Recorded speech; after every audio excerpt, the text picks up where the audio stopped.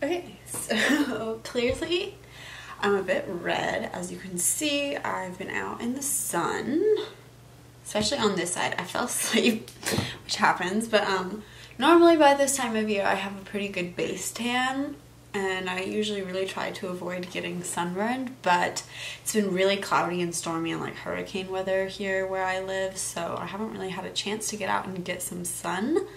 So today it was sunny and I went outside and I didn't get a lot of sleep the night before and I fell asleep out in the sunshine, which, you know, happens to the best of us. So I don't really want to walk around looking super red and things like that because I do have one week left of school. So I'm going to be showing you guys how I kind of do my makeup when I'm sunburned to make it look a little less insane. I'm also going to be giving you guys some tips and tricks on how to like make yourself less red quicker, if that makes any sense, and like how to heal your sunburn. So stay tuned. Before I even go ahead and put on any makeup, I've already gone and done a face mask. I used this green tea face mask. I just ordered these in like a big pack off of Amazon. They come with seven masks. You can do one every day, but I figured the um, green tea one would be good because it's soothing and it calms the skin and it left me feeling really nice and moisturized and yeah another thing this is like the number one thing I recommend for sunburns. It's something my grandmother taught me something I will do to my children and teach many generations to come is to use apple cider vinegar for your sunburn. It smells gross. If you don't like the smell of vinegar personally I like it. It just smells like salad to me but you just take it on a cotton ball and put it anywhere you have a sunburn and it will literally turn into a tan the next day. I will insert a picture, no gimmicks or anything, no makeup on my skin. I'll take a picture of my chest right here and do before and after in this shot time frame right now of my skin today and my skin tomorrow after having used apple cider vinegar. You can always see a difference, at least for me, and it's what works, honestly it's the best. so yeah, with that being said, it's also really good to keep your skin super moisturized. Um, Drunk Elephant is a new brand I've been using. They sent me some products and I've really been loving them. This one I talked about in my last video. It's a glycolic night serum and it's been working really good to kind of help fade any acne scars that I have. I mean, I have a few active pimples at the moment. But other than that, my skin's looking much more even and I've been using it nightly and I really like it. But it does make your skin more sensitive to the sun, hence the sunburn. So we're to be working with that today. Um, I'm also to be using this strengthening peptide, polypeptide renewal cream, which is just really moisturizing. Normally I would not use this during the day, but my skin is so dry from this sunburn so it's gonna welcome the moisture. And it's got a really cool little um like those little I'll just show you and use some more on my neck. It like pops up like that which is really cool. And my neck can probably use the moisturization. As you can see the rest of my body is not sunburned. It's just tan. But for some reason my face and my chest, I think it's just because I take better care of them. I exfoliate them more, the skin there is just always more sensitive and more prone to sunburn. So, anywho, I'm going to let that sink in and dry, and then I'll move on to makeup. Okay, so now that that is sunken into my skin, I'm gonna be using some primer.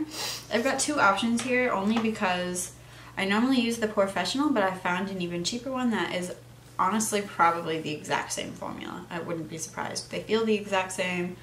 I can't tell a difference in anything, um, but it's the NYX Pore Filler, and it's got obviously way more product, so I've been really loving this one, and yeah. Um, for some reason, I don't know why, I think it, I don't know why. I'm just, maybe I'm getting older, but my pores, I've just been noticing them so much more than I usually do lately, so I've been using primer to kind of conceal them. And this one's been working really well. I haven't noticed any breakouts or clogged pores. I also like to put it on any kind of rough, dry patches that I have because it helps concealer go on smoother. So, with that being said, that's done. A little extra left over. So now, I don't think I'm gonna need blush today, but I just might after I put on foundation. Normally, I don't wear foundation. I don't wear any kind of anything, but today I think I'm gonna need to simply because I'm so pink. Um, I know you can go in and use green concealers, but maybe I'm just not good at using them. I've just never liked them personally, and they never worked out for me. And it, just, it like creates a bad white cast, so I don't like using them. But anyways, so the foundation I'm gonna be going in with is my Too Faced foundation. I'm not even gonna put it on like a normal foundation. I'm gonna use it almost as a tinted moisturizer and rub it in.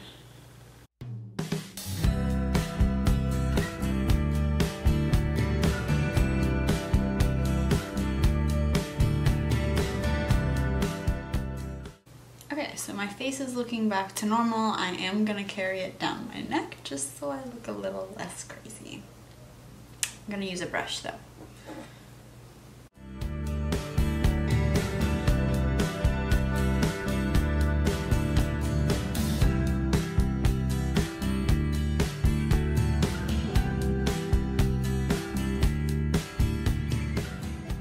So now I'm just gonna go in with some concealer. This is the NARS creamy one in the shade Canal. I don't know if that. But I'm just gonna put it underneath my nose. In between right here.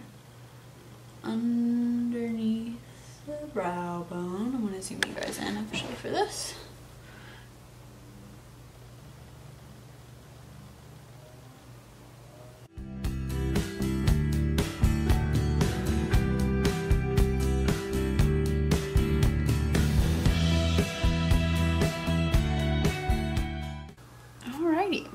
As you can see, my sunburn has been very much tamed. So now I'm gonna go in and just set with some powder.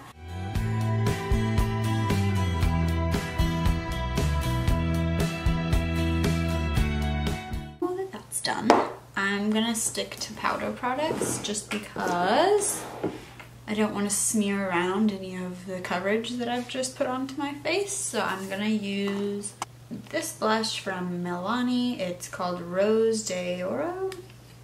I butcher any language that is not English, but whatever. I'm gonna put that just right on the apples of my cheekbones and do it very lightly. Just wanna get a little color, a little color back into my face. And then for bronzer, I'm gonna use the same one that I always use, which is the Bare Minerals Invisible Bronze for the shade Fair to Light.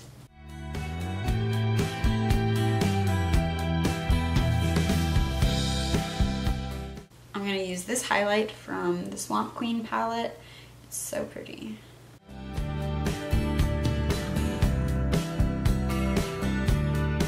Okay, so I'm just to go in and do like a little bit of mascara and fill in my eyebrows a little bit and then that's pretty much it. So I'll be right back.